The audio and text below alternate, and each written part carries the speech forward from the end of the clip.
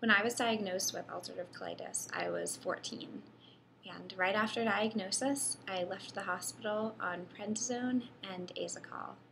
Shortly after the prednisone tapered, I was left just on Asacol and I reflared pretty quickly. That really came as a shock to me. I remember going into my first emergency GI appointment, just desperate for my doctor to believe me. I knew that I was 14. I had only been diagnosed for less than a year.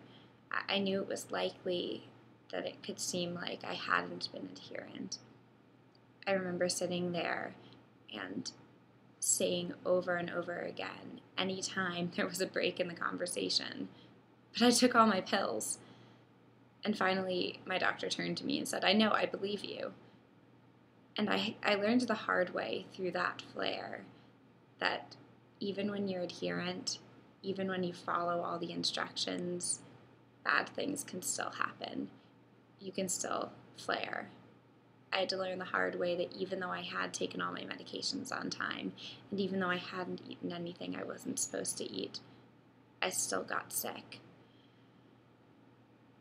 I guess to me, adherence means having the best chance at remission with an imperfect disease. When I was diagnosed with Crohn's at the age of 12, I was put on Pentasa. I was taking five pills three times a day. I, firstly, I didn't understand what my disease was, what the medication was doing, and neither really did my parents. It was something more the doctors had told my parents I needed to go on, and as such, I was told that I needed to do it. I couldn't swallow pills, and so that was a really big barrier in taking the medication because it became more of a hassle to dissolve the pills and drink the granules, and it was also really unpleasant. I didn't like to do it.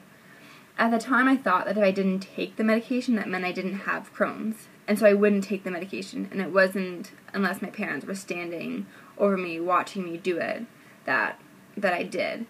Finally, they moved the medication into the kitchen so that it would be something that we'd all be reminded of as we opened and closed the cabinets.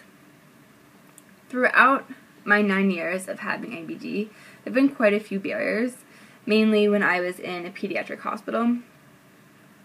Firstly, like I mentioned earlier, I did not understand what was going on, and I had no way of being able to communicate.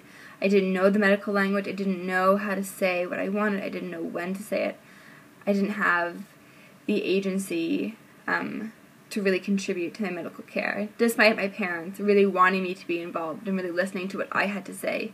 When I was in a medical appointment, I didn't have that kind of power. Um, the time and effort it took to take medications and to figure things out, oftentimes when you're feeling really sick, sometimes it's easier to let your parents decide and to just go with the flow, even though it's not really what you want and there's no efficient way of involving you. I didn't want to be different than my peers. I didn't want to have an NG tube, and I didn't want to be that sick kid. So lots of barriers, but I think, too, lots of solutions. Hi, my name's Moriah. I'm 21 years old, and I've had Crohn's disease for nine years. When I think about the role that my parents play in my Crohn's, I think about how I talk to them about my Crohn's and how we have open and honest communication. I also think about how I communicate with my nurses and my doctor and how asking them questions is important too. I do think it's trickier to ask doctors and nurses questions than it is to ask my parents because it's the doctors that can more tell if something is wrong because they have the medical knowledge to know whether something is off or not and I think that creates more anxiety for me talking to more medical personnel than my parents. So I think that's something that's really tricky. And my parents also help me with reminder strategies. So the reminder strategy that I use to remember to take my injection is writing it down on my calendar and then also writing it down on my family's calendar. So we both have my injection date and that way I can be held accountable in two different places. And I think that does depend on the reminder strategy you use with whether you use an injection or if you use pills.